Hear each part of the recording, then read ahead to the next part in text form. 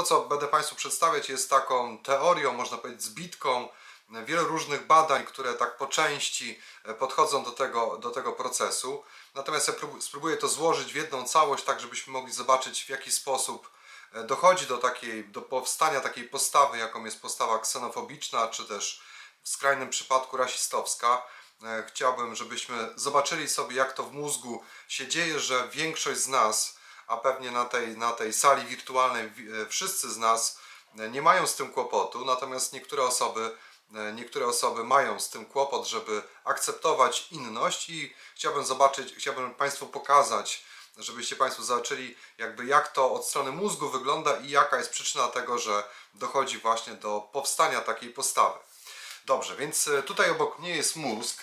Ja pokrótce powiem, co my tutaj widzimy, bo dla pewnie wielu z Państwa e, budowa mózgu, zwłaszcza ta widzianego od wewnątrz, tak jak tutaj widzimy w tym schemacie, e, to jest rzecz nie do końca z czym bytujecie na co dzień. Ja tutaj mam też przygotowany taki mózg, model mózgu, naszego ludzkiego mózgu, więc to co my widzimy to jest taki widok od, od wewnętrznej strony, czyli tak jakbym przeciął ten mózg na pół, to mniej więcej coś takiego byśmy zobaczyli.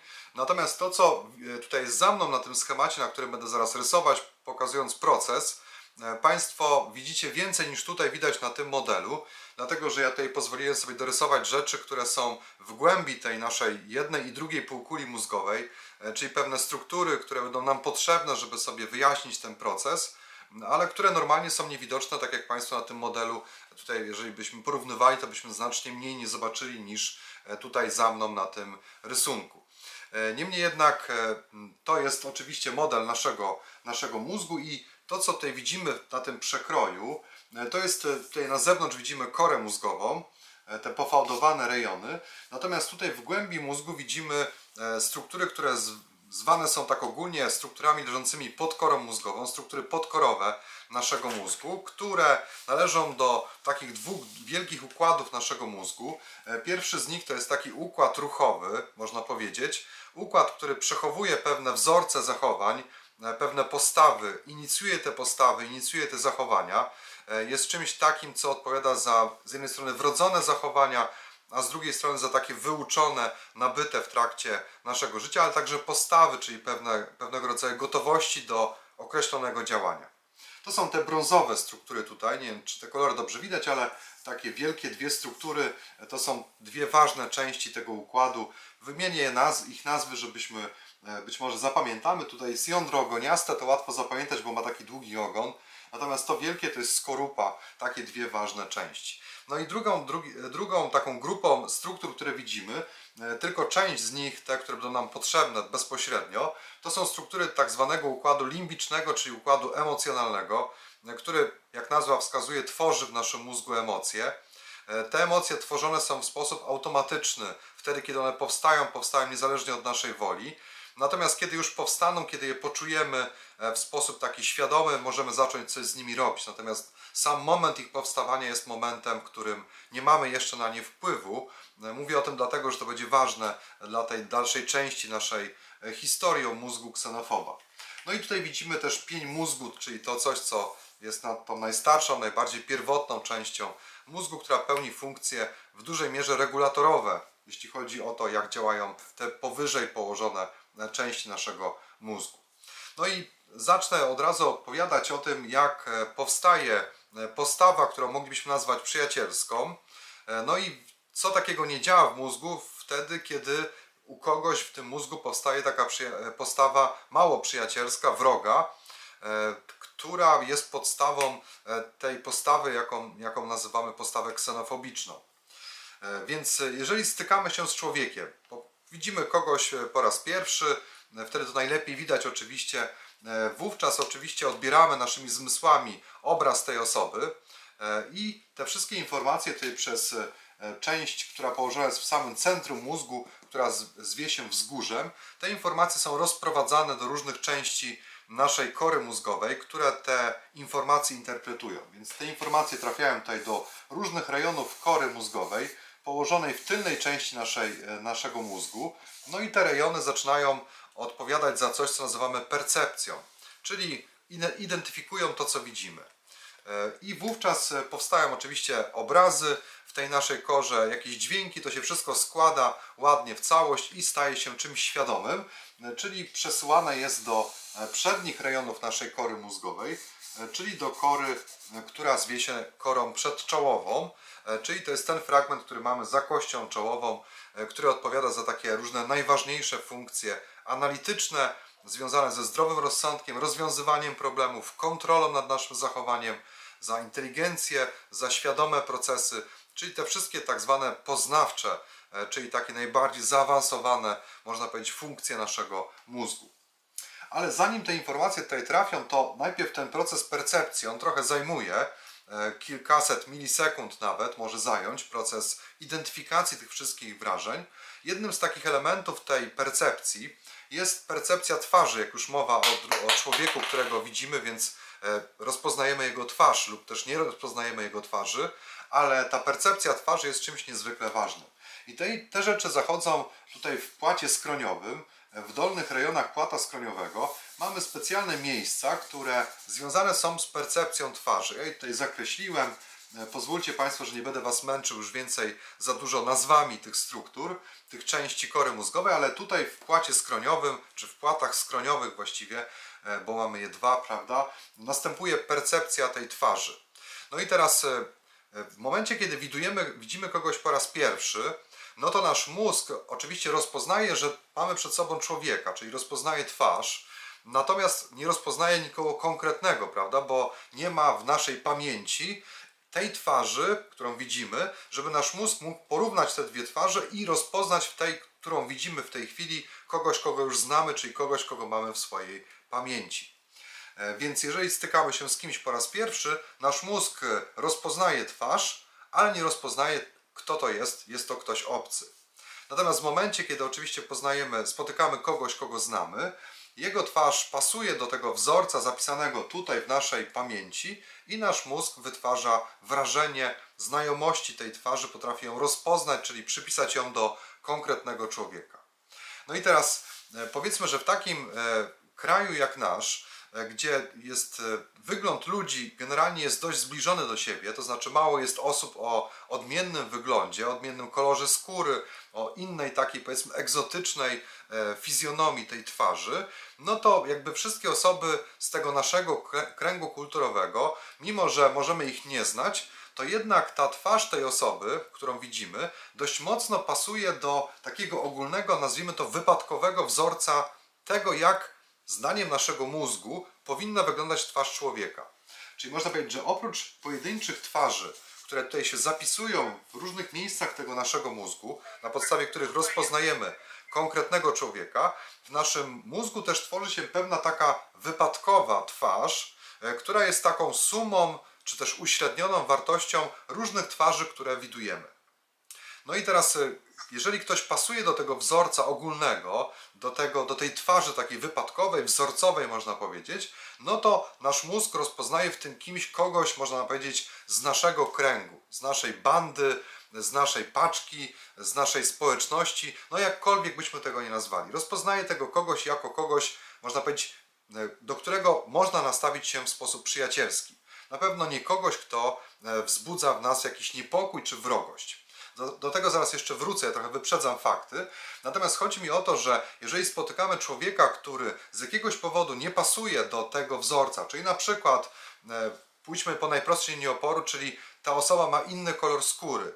Ten inny kolor skóry jest czymś, co nasz mózg traktuje jako element, który nie pasuje do tego wzorca. Jest na tyle, można powiedzieć, wyrazisty ten bodziec, że nasz mózg ma problem z tym, żeby tę tą twarz, którą widzimy, jakby przy, przypasować do tej twarzy wzorcowej, bo ona posiada bardzo charakterystyczną inną rzecz, inną cechę, która nie pasuje do tego wzorca.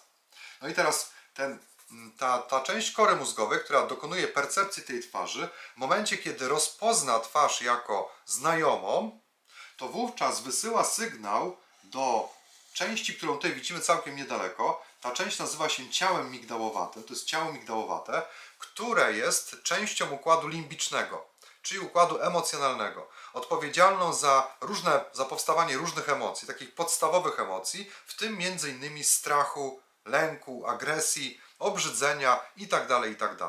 Można powiedzieć, że ciało migdałowate, jego zadaniem jest, e, można powiedzieć, nadawać różnym informacjom, które przetwarzamy w naszym mózgu, tak zwany znak emocjonalny. Czyli ciało migdałowate przypina etykietę do różnych bodźców, które odbieramy naszymi zmysłami, które identyfikujemy w korze mózgowej. I ta etykieta jest, można powiedzieć w uproszczeniu, e, oznacza, że coś jest w porządku lub też nie w porządku. Coś przyjaznego, coś wrogiego, tego typu rzeczy. Bardzo proste etykiety. I teraz w momencie, kiedy nasz mózg rozpozna twarz kogoś znajomego, to z tej części kory mózgowej idzie do tego, do tego ciała migdałowatego bardzo wyraźny sygnał hamujący, którego zadaniem jest wyhamować to ciało migdałowate tak, żeby nie generowało ono strachu. Dlatego jak my spotkamy kogoś znajomego, to natychmiast można powiedzieć czujemy się spokojni, dlatego że ktoś, kogo widzimy, jest kimś, kogo znamy. Prawda? Tak to się dzieje. Natomiast w momencie, kiedy spotykamy kogoś, kogo nie znamy, ale twarz tej osoby pasuje do wzorca tego wypadkowego, to wówczas ten sygnał jest co prawda słabszy niż wtedy, kiedy spotykamy kogoś znajomego, ale jednak jest na tyle silny sygnał hamujący, że doprowadza do dość mocnej redukcji aktywności tego ciała migdałowatego, dzięki czemu my, co prawda, zachowujemy pewną, pewien dystans, pewien delikatny niepokój, ponieważ nie znamy człowieka, ale jakby widzimy w nim kogoś z tego naszego kręgu, z tej naszej grupy, społeczności, stada, jakkolwiek byśmy tego nie nazwali, patrząc z różnej perspektywy. W każdym razie jest to ktoś jakby pasujący do, nazwijmy to, naszego, naszej populacji. Więc to ciało migdałowate wtedy nie generuje mocnego sygnału. Natomiast rzecz się zmienia wtedy, kiedy ktoś bardzo mocno odbiega wyglądem od jakiegoś standardu, wzorca, tego, którego mamy utrwalone, bo to jest coś bardzo osobistego, bo jest to wypadkowa wszystkich twarzy, które widujemy na co dzień w naszym życiu. Więc każdy z nas ma inną wypadkową tą twarz, inny wzorzec tego kogoś, kto jest z jego kręgu. Każdy z nas styka się z innymi ludźmi. No i teraz, kiedy ktoś odbiega, to może być ktoś, kto ma nawet deformację twarzy, czyli jakby uległ wypadkowi na przykład, nie wiem, jakieś wady rozwojowe, albo może być to ktoś, kto na przykład jest czarnoskóry. I takie osoby, nie pasując do tego wzorca, nie powodują tej, tego sygnału, które biegnie do ciała migdałowatego, które nie jest hamowane, a tym samym jego aktywność się wzbudza. Wzbudza się generując strach lub też lęk, bo ta osoba oczywiście jeszcze nie stanowi bezpośrednio zagrożenia, ale wzbudza to niepokój, delikatnie mówiąc niepokój, lęk przed tą osobą, dlatego że ona jest nieznana, nie pasuje do tego wzorca, jest kimś, kogo można się jakby naturalnie obawiać, jest kimś obcym. I to słowo obce jest najlepsze, dlatego że ten ktoś nie pasuje do tego wzorca. I ta obcość, e, którą czujemy, jest tak naprawdę lękiem jest lękiem przed tym, co się wydarzy, pewnym niepokojem na temat tego, czy tej osobie można ufać, bo nie wiadomo, co ona zrobi. To oczywiście jest bardzo takie proste, można powiedzieć uproszczone e, działanie tego systemu limbicznego, emocjonalnego, bo na razie jeszcze nie doszliśmy nic do kory mózgowej, czy ja to mówię tak bardzo wolno, oczywiście znacznie wolniej niż to się dzieje w naszym mózgu, ale jesteśmy na etapie, gdzie procesy, które zachodzą, zachodzą jeszcze na pełnym poziomie powiedzmy automatyki, takiej, na którym, na którym my nie mamy wpływu bezpośredniego jeszcze na tym etapie.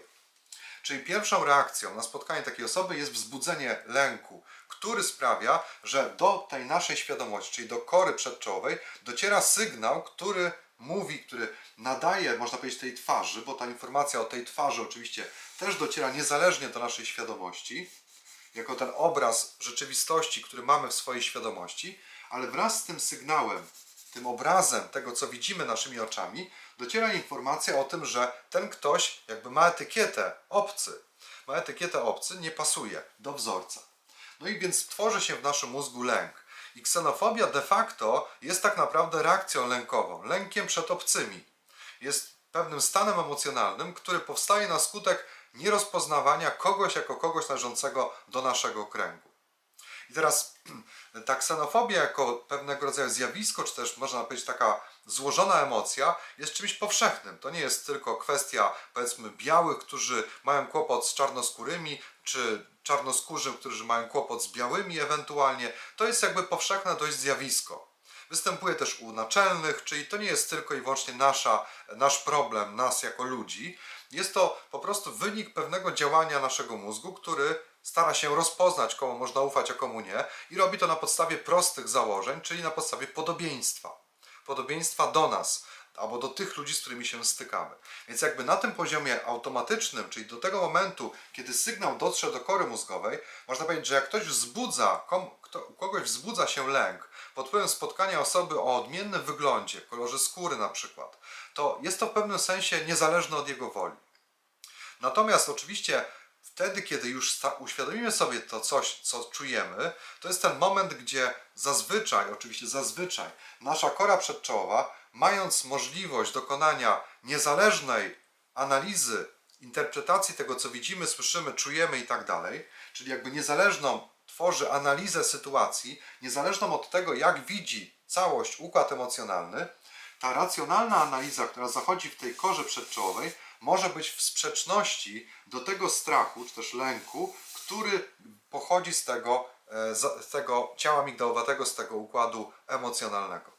No i tutaj powiedzmy, że e, po analizie takiej zdroworozsądkowej, która zajmuje chwilę, ona trwa dłużej nieco niż, ten, niż, ta, niż ta analiza, która zachodzi w układzie emocjonalnym, więc jakby nasza kora przedczołowa z tą świadomością i racjonalnością jest zawsze o krok za działaniem układu emocjonalnego.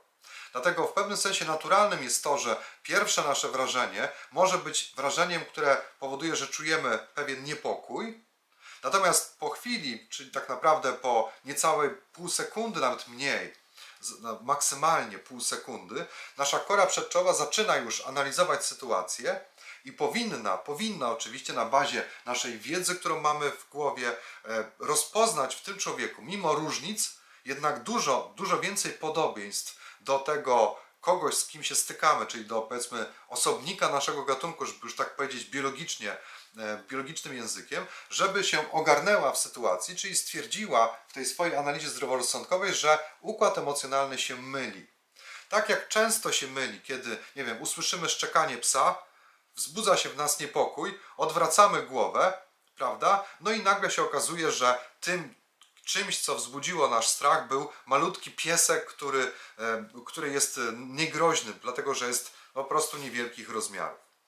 No i w związku z tym można powiedzieć, że wówczas w tym momencie nasza kora przedczołowa zaczyna hamować e, ta, ten układ emocjonalny, czyli doprowadza do tłumienia tego ciała migdałowatego, które to ciało migdałowate zostaje wyhamowane, a tym samym nas ogarnia pewnego rodzaju spokój, uspokojenie, no i stwierdzamy, można powiedzieć, gdybyśmy to zaczęli analizować, co się dzieje wtedy w naszej głowie, to ktoś by mógł powiedzieć, że dochodzimy do wniosku, że e, myliliśmy się w tym pierwszym swoim wrażeniu. Zaczynamy się nawet może śmiać z tego, jak, jak, jaką emocję poczuliśmy, e, na, na, a tak naprawdę ona, to szczekanie tego psa pochodziło na przykład właśnie od takiego mikrusa, który jest tak naprawdę dla nas niegroźny. No więc to jest rzecz normalna, że emocje często podpowiadają nam coś błędnego, niż to, co potem sądzimy na podstawie naszej zdroworozsądkowej analizy.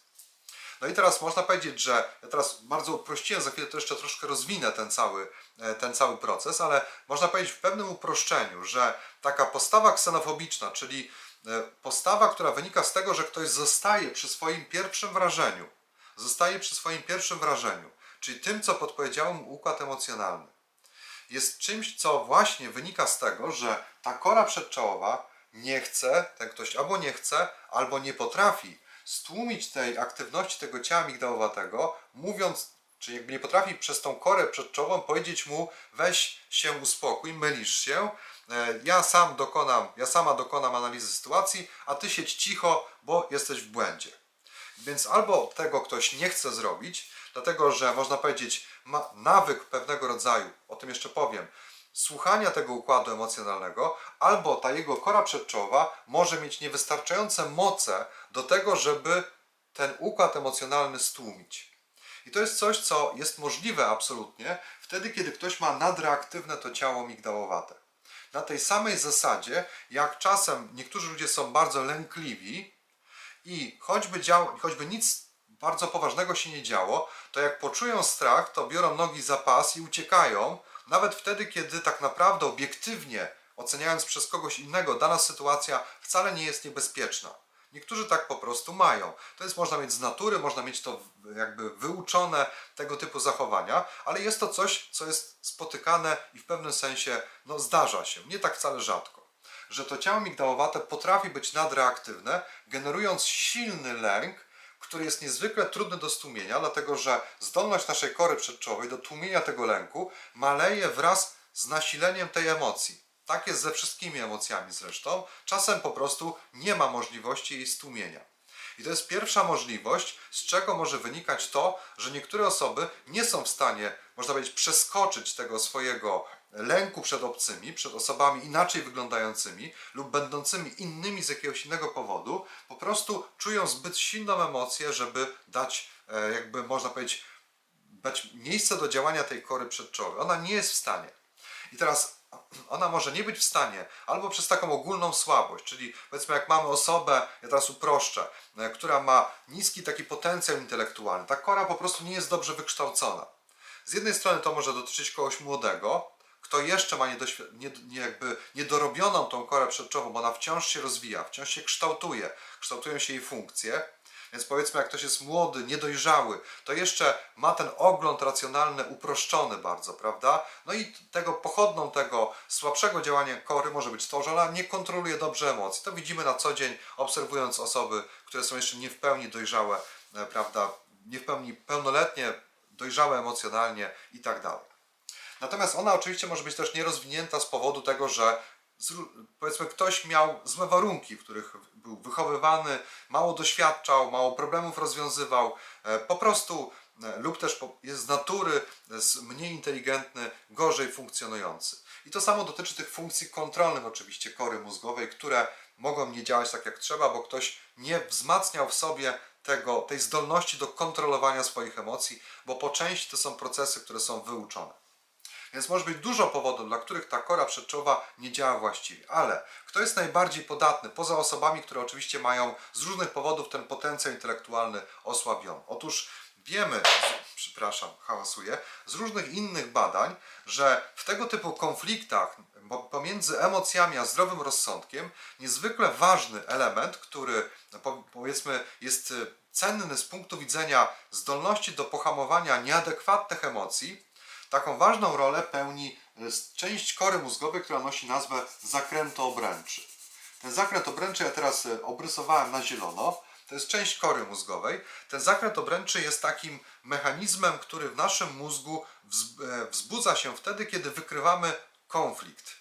Konflikt na linii emocje, zdrowy rozsądek, konflikt na linii nasz interes, cudzy interes, na linii prawda, kłamstwo i tak dalej, i tak dalej. Jakieś konfliktowe rzeczy, czyli kiedy w naszej korze przedczołowej pojawiają się dwie odrębne, przeciwstawne sobie wizje, zdania i tak dalej, i tak dalej, wówczas zakręt obręczy jest tą strukturą, która się uaktywnia, co dla naszego mózgu jest ogólnie sygnałem tego konfliktu. Jest to wykrywacz problemów, potencjalnych problemów, jakichś dysonansów, jakkolwiek byśmy tego nie nazwali. I teraz, nie wnikając w szczegóły, bo nie chcę Państwa zamęczyć tą neurobiologią, ale efektem działania tego zakrętu obręczy jest zazwyczaj wzmocnienie aktywności tej kory przedczołowej. Jej aktywność rośnie, dlatego że wykrycie tego błędu jest czymś, co uaktywnia te procesy poznawcze, tak żebyśmy na bazie tej naszej wzmocnionej racjonalności wzmocnionego tego potencjału intelektualnego byli w stanie rozwiązać ten problem.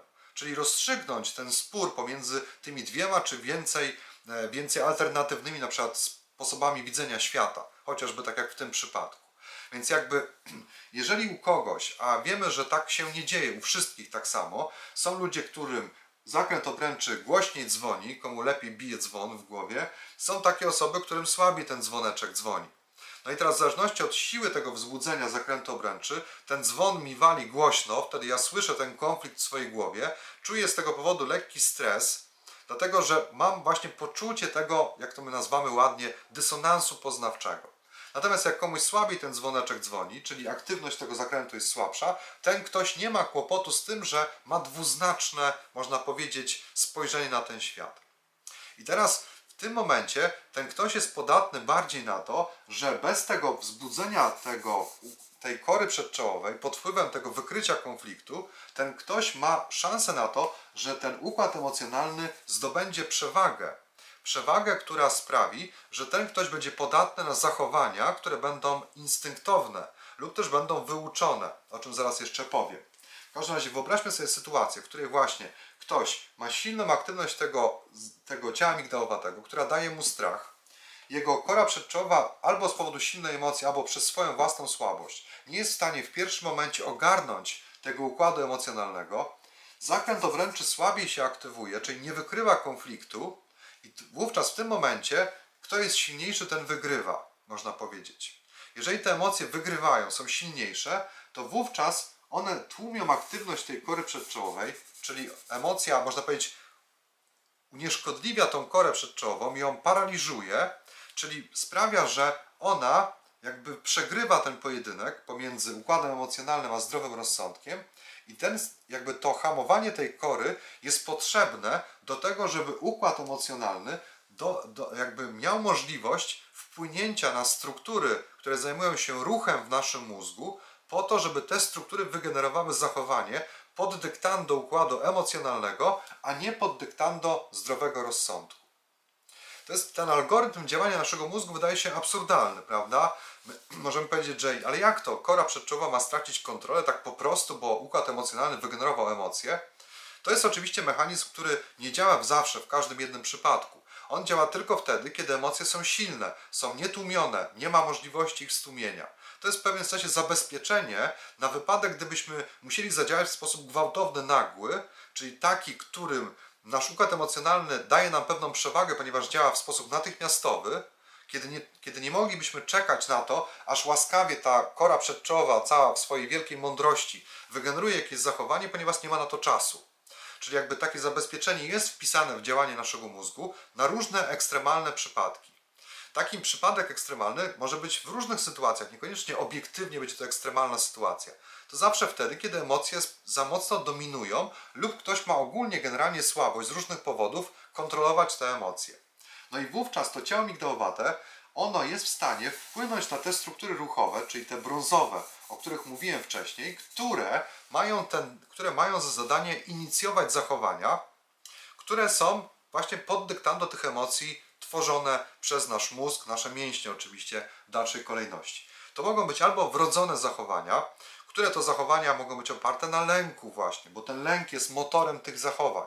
Czyli taki ktoś może odruchowo, powiedzmy, odwracać głowę, przesiadać się w tramwaju na przykład, nie, nie chce bić blisko osoby, która wygląda dla niego obco, prawda? Czyli na przykład kogoś o innym kolorze skóry. I to są pewne takie zachowania wrodzone, czyli tak naprawdę to, co ludzie robią, to tak naprawdę uciekają. Uciekają od bodźca, który wywołuje w nich strach. To jest typowa reakcja ucieczki. Tylko oczywiście no, trochę kontrolowana przez tą korę, więc ten, ten ktoś nie bierze nóg za pas i nie ucieka w popłochu, prawda? No ona jest trochę kontrolowana, ale nie na tyle, żeby kora przedczołowa była w stanie to tłumić.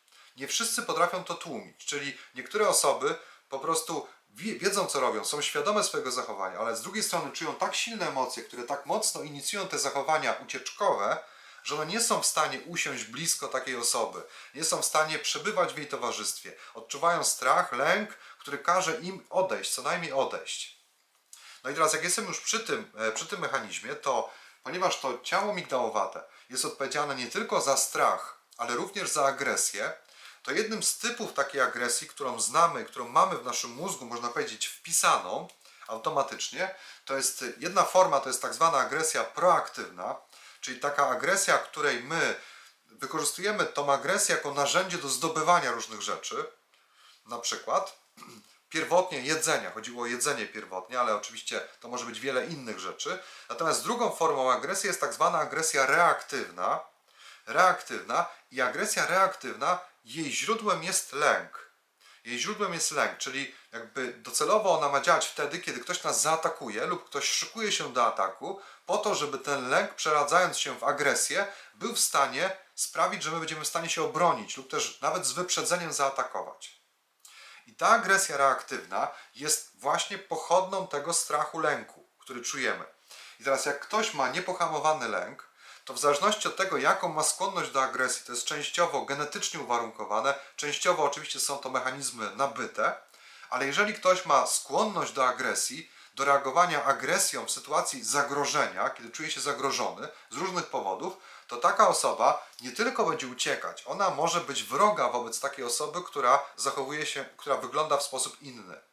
Czyli może e, mówić rzeczy na przykład w stylu e, wypad z Polski, prawda, idźcie tam do siebie, gdzieś do Afryki i tak dalej, i tak dalej. Tak, takie rzeczy słyszymy, prawda, na ulicach, więc wiemy o co chodzi. No więc to jest, to jest typowa agresja reaktywna. Ta osoba może w zupełnie innej sytuacji, kiedy nie ma styczności z takimi osobami, ona może nawet, można sobie to wyobrazić, to nie będzie sprzeczne z tym, co się dzieje w mózgu, ta osoba może nie mieć tak, że ona myśli o takich osobach z jakąś nienawiścią bo to jest bardzo skrajna postawa, za chwilę jeszcze o tym powiem. Natomiast ta osoba może jakby nawet deklarować nas w sytuacjach spokojnych, takich, których nie, nie towarzyszą jej te lęki, że ona tak naprawdę nic nie ma do takich osób. Natomiast w momencie zetknięcia z taką osobą, kiedy sytuacja jest już dynamiczna, te emocje się pojawiają, taka osoba może właśnie przejawiać tego typu zachowania lub oczywiście na bazie e, współdziałania z innymi, naśladownictwa prawda, tych wszystkich neuronów, które pozwalają nam naśladować czyjeś zachowania, czyjeś emocje w tłumie osób, które mają tego typu postawy, też taką postawę łatwiej przyjąć, prawda? Bo my, jakby można powiedzieć, na bazie naszej wrodzonej empatii i teorii umysłu jesteśmy w stanie, można powiedzieć, dopasowywać się do otoczenia w naszych zachowaniach, a mówię, słowa są też tylko i wyłącznie formą zachowania, tylko specyficzną oczywiście, no więc jakby wszystko można powielać wtedy, kiedy jesteśmy w dużym tłumie, to krzyczymy tak, jak krzyczy tłum. To są naturalne mechanizmy, stadne zresztą, no bo jesteśmy zwierzęciem stadnym. Nasz mózg ma do tego odpowiednie moduły, żeby tak robić. No w każdym razie tak to może wyglądać w takim najprostszym ujęciu. W najprostszym ujęciu, jak powstaje taka postawa ksenofobiczna. No i teraz co jest niezwykle ważne? Otóż to, że kiedy ktoś wygeneruje to zachowanie, albo bardzo pierwotne, albo takie z udziałem kory mózgowej, ale jednak tutaj kora planuje to zachowanie, e, te, te, te struktury ruchowe inicjują te zachowania, ale one są planowane częściowo przez korę, tą naszą przedczołową, czyli nasze centrum analityczne, po to, żeby to zachowanie co prawda dyktowane emocjami, ale przybierało formę, która będzie, można powiedzieć, opracowana przez tą nasz zdrowy rozsądek, tak żebyśmy byli świadomi tego, co robimy i żeby to zachowanie, mimo że dyktowane emocjami, było na tyle przemyślane, jakkolwiek dziwnie to brzmi, ale żeby było na tyle przemyślane pod względem procedury, żeby to zachowanie spełniło jak najlepiej swoje cele. A celem, cel dyktuje emocja. Tak, tak to mniej więcej wygląda w naszym mózgu. Ja to oczywiście bardzo upraszczam, ale tylko z tego powodu, że nie chcę Państwa zamęczyć tą, tą neurobiologią. No ale oczywiście nie, nie, nie, aż tak nie upraszczam, żebym ja tutaj bredził głupoty, ale na tyle, żebyśmy nie ugrzęźli w jakichś szczegółach. I teraz, kiedy ktoś wykona to zachowanie, czyli przesiądzie się w tym tramwaju, powiedzmy, że to jest delikatne, to ta osoba, ponieważ zwiększyła dystans z tą osobą, której się przestraszyła, ona w swoim mózgu czuje nagrodę, czuje przyjemność z tego powodu, że można być oddycha z ulgą, bo ona uniknęła niebezpieczeństwa w jej mniemaniu, jakkolwiek dziwnie to brzmi. I dochodzi do aktywacji czegoś, co nazywa się układem nagrody. Układ nagrody, jak nazwa wskazuje, aktywuje się wtedy, kiedy odnosimy jakąś korzyść. Uniknięcie pora jakiejś straty, uniknięcie, no oczywiście śmierci i tak dalej, dla tej osoby jest to zagrożenie. Uniknięcie zagrożenia jest nagrodą dla naszego mózgu.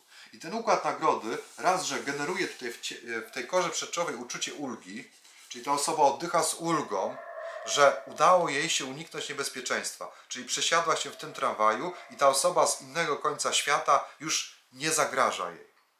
Natomiast na poziomie nieświadomym ta sama nagroda powoduje, że to zachowanie się utrwala, czyli następnym razem, kiedy emocja znowu się wygeneruje, tworząc ten lęk, to ta emocja z większą łatwością będzie w stanie zainicjować to zachowanie i w ten sposób dochodzi do utrwalenia postawy.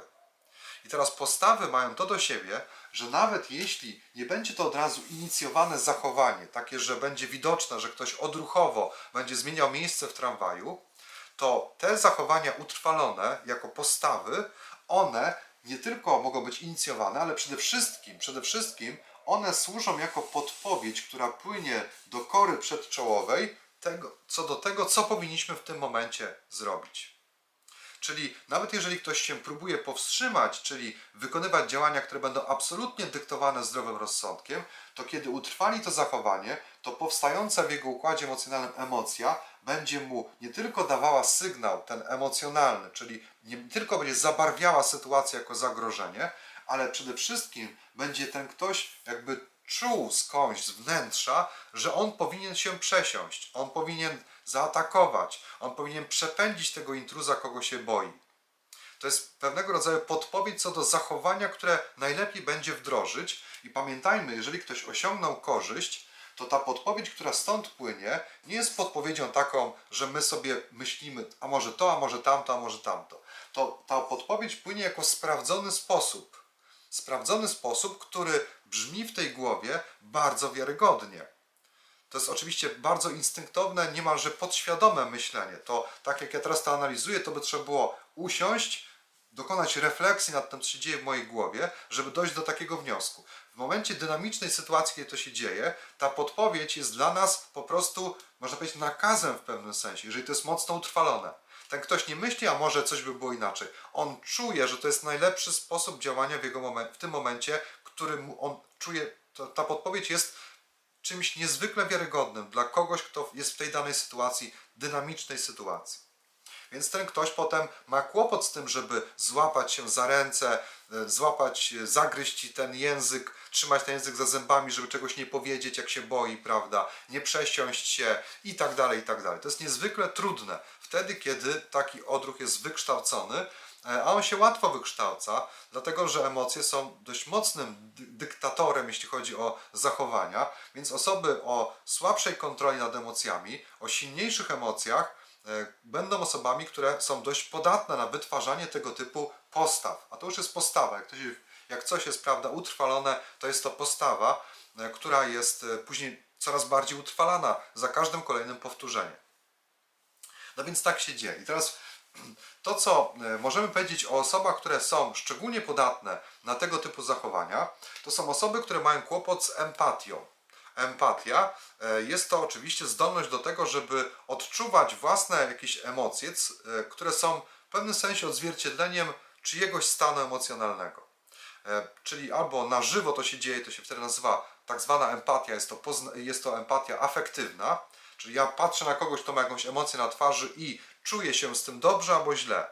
Jak się śmieje ten ktoś, to mi jest dobrze, jak on jest smutny, to mi jest z tym źle, prawda? Ja mam własne emocje, które są jakby odzwierciedleniem jego emocji, które on ma.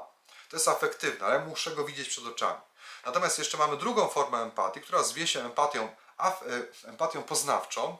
I ta empatia poznawcza polega na tym, że trzeba sobie coś wyobrazić, co ktoś czuje. Czyli wyobrazić sobie tą osobę, jej twarz, jej, jej odczucia, żeby na bazie tego móc poczuć własne emocje, które znowuż tak samo będą odzwierciedleniem tego czyjegoś stanu emocjonalnego. To nie jest wiedza, bo jeszcze mamy taką drugą funkcję, która się nazywa teorią umysłu. Teoria umysłu jest funkcją poznawczą, czyli my wnikamy do czyjejś głowy, żeby poznać czyjeś myśli, po to, żeby na przykład wiedzieć, jakie ktoś ma oczekiwania, jakie ma zamiary, co on zrobi, co on myśli i tak dalej. Teraz powiem pokrótce, gdzie to się w naszym mózgu powstaje. Więc ta teoria umysłu to jest współdziałanie kory przedczołowej z korą tutaj ciemieniową. Te dwa obszary są niezwykle aktywne wtedy, kiedy teoretyzujemy na temat czyjegoś umysłu i to jest funkcja typowo poznawcza, czyli taka wiedzowa, bez zabarwienia emocjonalnego w momencie, kiedy ona powstaje. To jest sucha wiedza na temat tego, co my myślimy, że ten ktoś ma w swojej głowie. Tam nie ma żadnego zabarwienia emocjonalnego. Natomiast empatia wymaga czegoś, co ja trzymam w ręku. E, to coś nie jest oczywiście z kartonu e, w naszym mózgu. To coś nazywa się korą wyspy. Teraz spróbuję nie rozwalić tego wszystkiego, co ja tutaj E, przygotowałem. Ta kora wyspy jest mniej więcej w tym miejscu naszego mózgu. Ja ją teraz dokleiłem, znaczy dokleiłem, do, przyczepiłem. Pokażę Państwu, gdzie ta kora wyspy się znajduje w mózgu. Jak patrzymy teraz na zewnątrz, teraz bliżej do kamery, no to widzimy tutaj płat czołowy, tę korę tutaj przedczołową, o której mówimy cały czas. Tutaj mamy korę skroniową, natomiast kora wyspy jest, ja teraz rozchylę, Państwo może widzicie, tutaj w środku jest taki pofałdowany fragment. E, I to jest właśnie ta kora wyspy. Ona jest mniej więcej na wysokości tego, co widzimy tutaj na tym rysunku, czyli tych wszystkich elementów, o których cały czas mówimy. Dlatego ona teraz zasłania trochę e, ten obraz. I teraz ta kora wyspy jest ważna do empatii, czyli do tego, żeby czuć się dobrze lub źle z czyimiś emocjami, które ktoś ma. Pokrótce, bardzo krótko opowiem, jak ona powstaje, więc znowuż tutaj ciało migdałowate jest niezwykle ważne, dlatego że ciało migdałowate ma zdolność rozpoznawania emocji na czyjejś twarzy, po dźwiękach oczywiście, różnych sygnałach. Automatycznie rozpoznaje czyjąś emocję i powiedzmy, że wysyła nam informację o tym, co ktoś ma za emocje po tej jego twarzy. Ale tutaj nie ma jeszcze w tym żadnego uczucia naszego własnego. To jest jakby informacja. Natomiast to samo ciało migdałowate wysyła też informację do kory wyspy, która to kora wyspy tworzy na podstawie tej informacji o tej cudzej emocji odzwierciedlenie naszego stanu emocjonalnego, czyli tak mówiąc w uproszczeniu, albo my czujemy się z tym dobrze, wtedy kiedy ktoś ma pozytywną emocję, albo czujemy się z tym źle, zaczynamy czuć się z tym źle, kiedy ten ktoś, kogo widzimy, ma jakąś przykrą emocję. No i ta aktywność tej wyspy przenosi się do tej naszej kory przedczołowej, więc jakby połączenie tych dwóch informacji o czyjejś emocji plus naszym odczuciu co do tej emocji jest tym, co nazywamy empatią. Tak w skrócie oczywiście, w uproszczeniu. No i teraz ktoś, kto ma sprawnie działającą teorię umysłu i sprawnie działającą empatię, jest w stanie na podstawie wiedzy o tym, co ktoś może mieć w głowie, wytworzyć także wtórnie emocje, którą może mieć ta osoba, czyli nasz osobisty stosunek co do tej emocji, którą ktoś ma. Czyli jakby trochę na bazie teorii umysłu możemy sobie domyśleć się, co ktoś może czuć, nazwać to w swojej głowie, na chłodno i mając ten jakby widok tego czegoś, co ten ktoś ma na swojej twarzy, bo my to wiemy, bośmy się tego domyślili, nawet go nie widząc, na bazie tego wyobrażonego widoku kogoś, czyjegoś, możemy wtórnie przy okazji właśnie z pomocą kory wyspy wytworzyć to, jak się czujemy z tym, że ten ktoś w tym naszym wyobrażeniu ma taką, a taką emocję. Więc tutaj powstaje to uczucie. Razem te dwie funkcje są niezwykle istotnym elementem tego całego obwodu, który jest związany z naszymi zachowaniami takimi socjalnymi, społecznymi. Bez tych dwóch rzeczy jest trudniej oczywiście.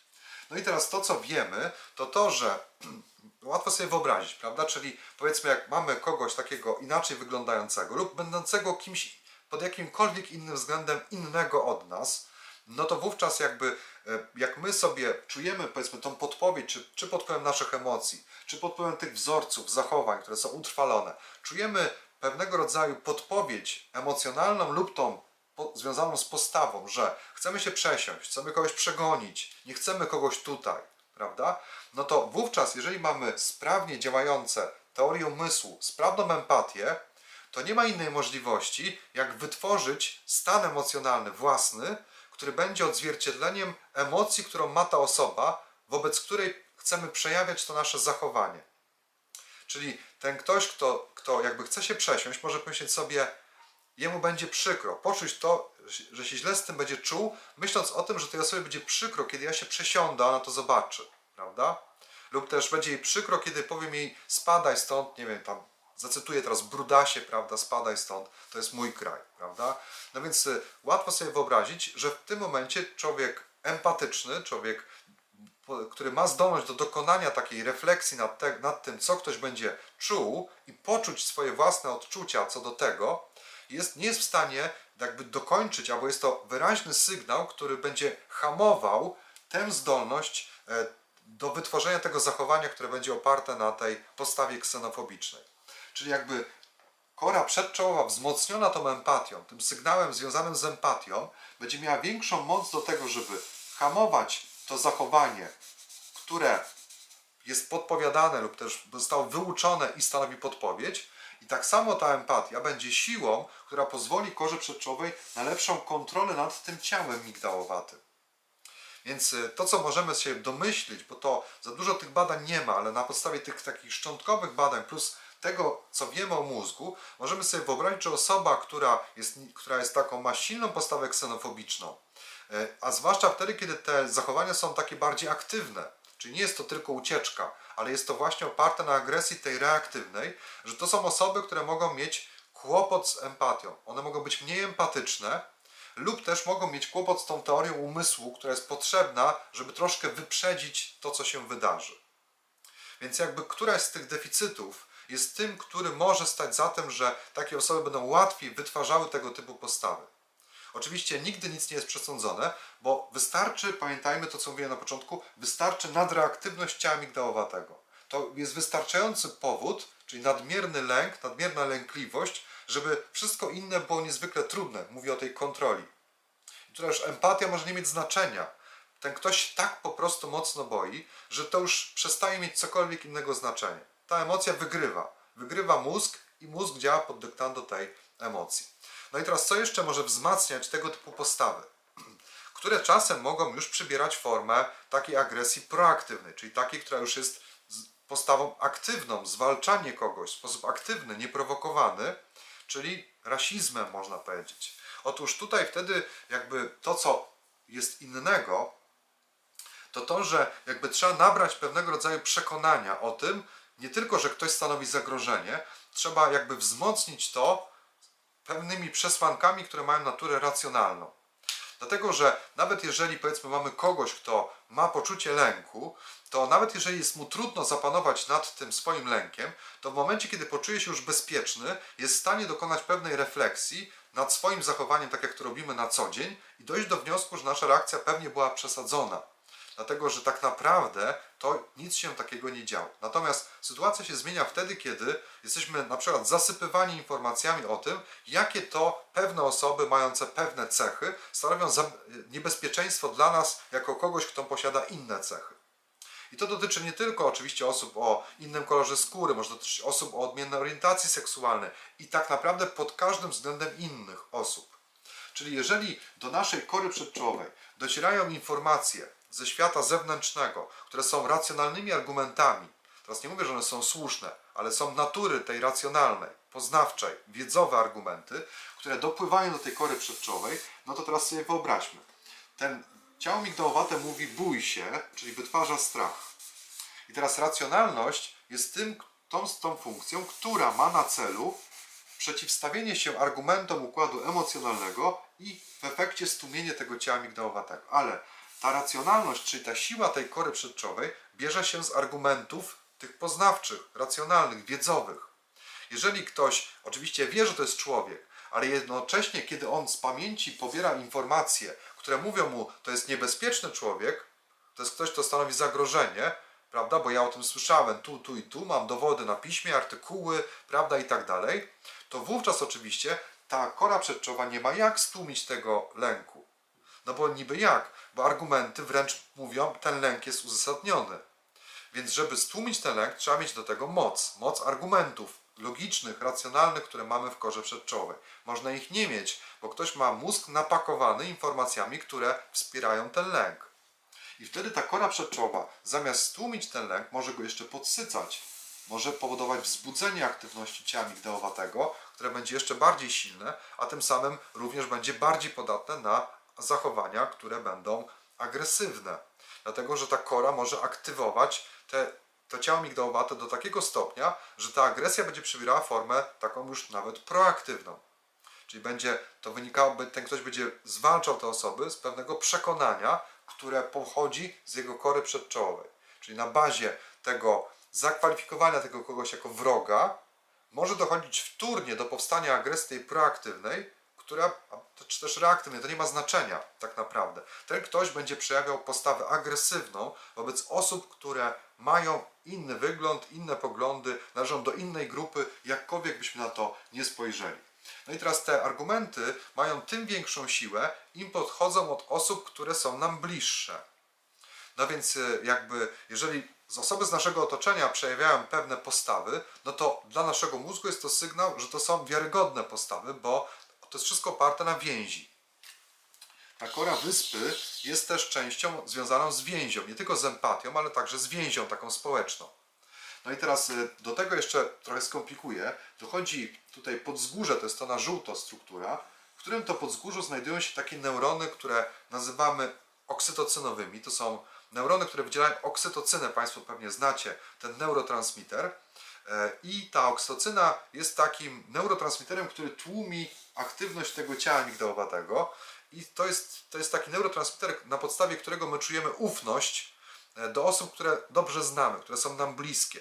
Dlatego, że jak nasz mózg rozpoznaje kogoś znajomego, a im bardziej ktoś jest znajomy, im lepiej znamy jego twarz, tym ta kora przedczołowa bardziej aktywuje to, ten, to podzgórze, te neurony oksytocynowe, które tym bardziej hamują ciało migdałowate, a tym samym my wytwarzamy postawę ufności wobec tej osoby, również w zachowaniu, a już nie będę teraz tego rysował. W każdym razie ta oksytocyna jest takim neurotransmiterem związanym z więzią zaufanie.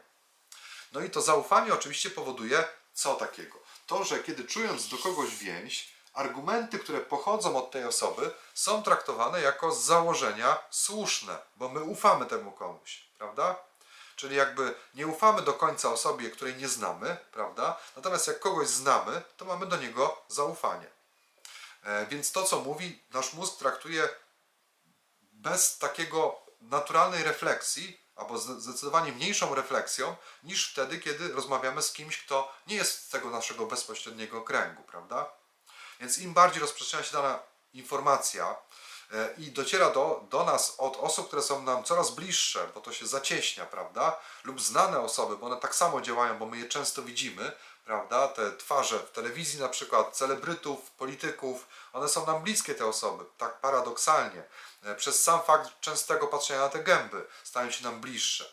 No więc jak mówi to ktoś znany, no to automatycznie nasz mózg traktuje to jako coś cennego, jako coś ważnego. No i w ten sposób oczywiście tylko wspiera się ta postawa, której kora przedczołowa traktuje tą emocję pod, jako wiarygodną lub też sama tworzy tą emocję na podstawie zdroworozsądkowej analizy opartej na tych zasłyszanych informacjach, które mają świadczyć o tym, że te osoby o takich cechach są wrogami i wówczas wtórnie wygenerowana nawet emocja, związana też z generowaniem tej postawy, może powodować, że ktoś będzie oczywiście nawet agresywny wobec takich osób, e, tworząc taką właśnie silną postawę ksenofobiczną, powiedzmy ocierającą się już o rasizm.